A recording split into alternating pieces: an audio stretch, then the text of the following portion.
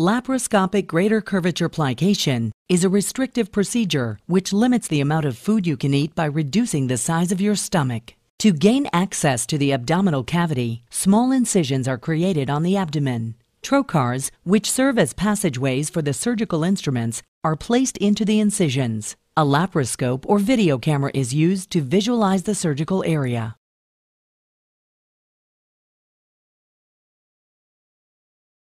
During LGCP, attachments to the greater curvature of the stomach are removed to facilitate future plications.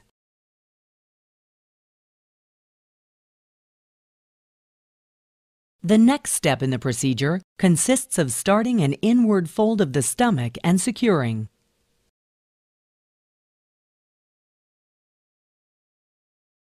The final step in the procedure is another inward fold of the stomach similar to the previous step.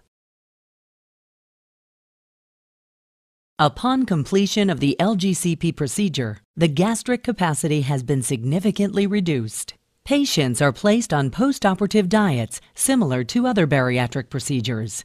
This includes starting with liquids and progressing to solids over several weeks as tolerated.